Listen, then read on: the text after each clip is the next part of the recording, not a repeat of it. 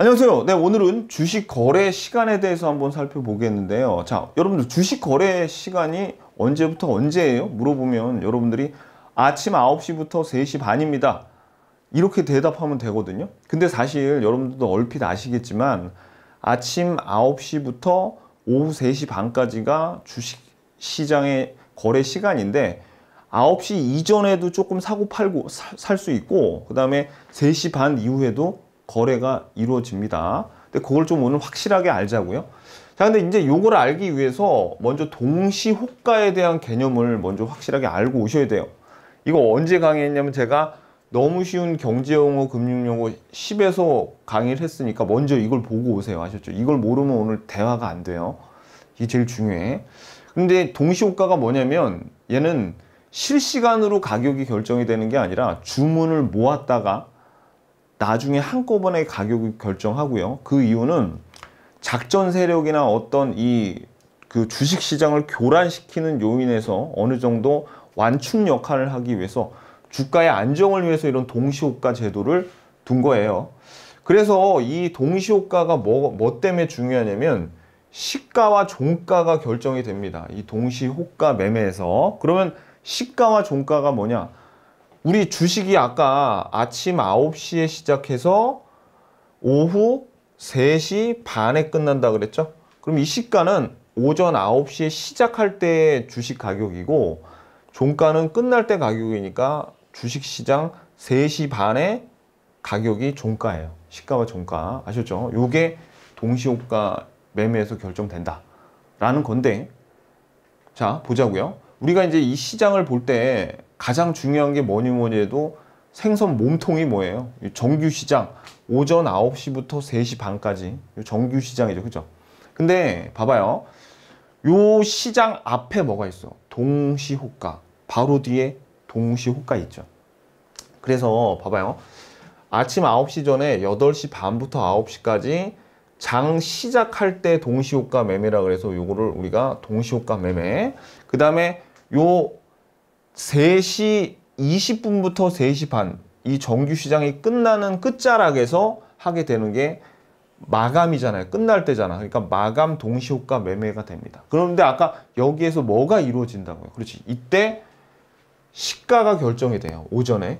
그 다음에 여기선 오후에는 종가가 결정이 되더라. 라는 겁니다. 여러분들. 자, 그럼 이거를 한번 나머지는 이제 좀 이따 볼 건데 요 세 개가 제일 중요해요. 요 세 개가.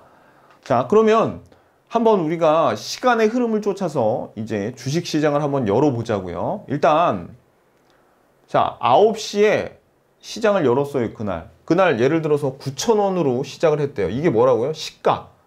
9,000원으로 시작했대, 시가야. 그래가지고 5시, 아니 5시 됐죠. 이거 3시 반까지인데, 아, 이거 뭐 맨날 헷갈려, 아무튼. 3시 반까지죠. 그러면 요 3시 반까지인데 요 정규 시장을 3시 20분까지라고 말씀하시는 분들도 있습니다. 왜냐하면 여기 3시 20분부터는 동시 호가로 진행이 돼요. 그래서 장 마감 동시 호가가 어 3시 20분부터 3시 반까지야. 그러면은 9,000원으로 시작했다가 예를 들어서 3시 반에 만 원으로 끝났다고 쳐봐요. 3시 반에. 그러면 이 만 원이 뭐가 되는 거예요? 그날의 종가가 되는 거잖아요. 그죠? 종가가 돼서 요 3시 반에 또 끝나는 게 아니라 3시 반부터 4시까지는 당일 종가인 만 원으로만 이 시간엔 거래가 되는데 이걸 우리가 장후 시간의 매매라고 합니다. 그 다음에 이대로 끝나기는 허전해. 그래가지고 어떻게 해요? 4시부터 6시까지 10분마다 계약이 체결되는데 이때 가격은 종가의 플러스 마이너스 10% 범위에서 할 수 있어요. 그러니까 어, 가격은 어떻게 그렇지? 9,000원에서 10%니까 만 원에 만 원보다 마이너스인 9,000원에서 11,000원 사이에서 요 2시간 동안 10분에 한 번씩 거래가 가능한데 이걸 뭐라 그러냐면 시간 외 단일가 매매다. 아, 요렇게 얘기를 합니다. 그러니까 결국은 뭐예요? 이 종가에서 벗어나지를 못하는 거야. 6시까지는. 그러니까 이 종가가 되게 중요하다고. 근데 이 종가는 또 왜 중요하냐면 다음 날에 시장을 열었죠. 그럼 요 장전 시간의 매매라는 시간이 8시 반부터 40분까지 10분 동안 거래를 하는데 여기에서도 뭘로 거래가 되냐면 전일 종가인 만 원으로 거래가 돼요. 만 원으로. 그러면서 동시에 요 8시 반부터 9시까지 장 시작 동시 호가 시간이 이렇게 되는데 요 30분 동안 뭐가 결정이 돼요, 이제. 그렇지.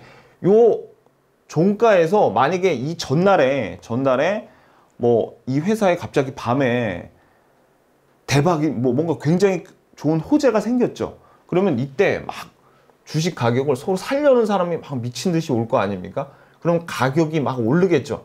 전에 종가였지만 그래서 시작할 때 딱 가격이 정해지는데 예를 들어서 만 삼천 원으로 딱 정해졌어. 선생님 만 삼천 원보다 더 높이 결정될 수도 있잖아요. 결정 안 돼요. 왜? 왜냐면 우리 여러분들 상한가 배웠어요. 상한가.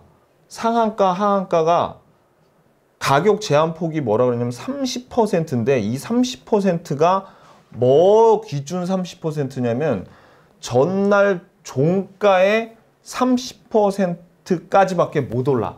그러니까 요 동시호가에서 아무리 올라봤자 사- 만 원이었잖아요. 전일 종가가. 그러니까 이거의 30%인 13,000원을 넘어갈 수는 없다는 얘기입니다. 그럼 하한가는 요 전일 종가의 30%니까 그죠? 하한가. 그러면 7,000원까지 떨어지고 더 이상은 안 떨어지겠죠. 그죠? 근데 우리는 기분 좋게 오르는 걸로 하자고요. 그래서 13,000원으로 이날 딱 하면 시가가 얼마로 시작되는 거야? 13,000원으로 시작을 해. 그래 가지고 만약에 이게 계속 유지가 되면은 13,000원에서 더 이상 오를 수는 없고 제일 신나는 게 13,000원으로 끝나는 거예요. 근데 만약에 이 13,000원보다 만약에 좀 뭐 이제 13,000원이면 많이 벌었어 하고 팔려는 사람 있으면 떨어질 수도 있겠지. 12,000원. 더 이상 오를 수는 없습니다. 무슨 얘기인지 아시겠죠? 왜? 우리 제한을 폭을 더 놨잖아. 30%로. 무슨 얘기인지 아시겠죠? 그래서 어떻게 된다? 그렇죠. 결, 굉장히 중요한 개념이 뭐냐면 사실 이 종가가 제일 중요합니다. 이 종가.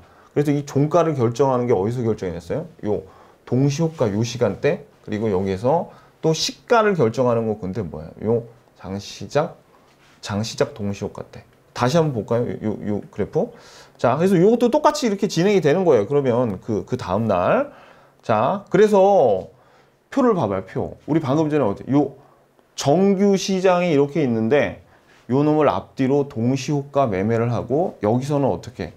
당일 종가로 3시 반부터 4시에 거래가 이루어지고 그 다음에 얘네들 2시간 동안 플러스 마이너스 10 종가로. 그래서 아침에 어떻게 해요?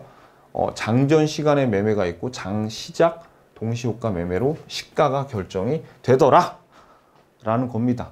무슨 얘기인지 아시겠죠? 오케이 됐습니다. 자 그래서 오늘 여러분들 이제 이 주식 시장의 시간을 알았는데 이제 뭐 어, 여러분들 신문 기사를 읽거나 여러분들 친구 친구분들 대화할 때 아 주식 아 주식 시장이 9시에서 3시 반에서 끝나는 게 아니야. 그 이전과 이후에서도 거래가 이루어진대.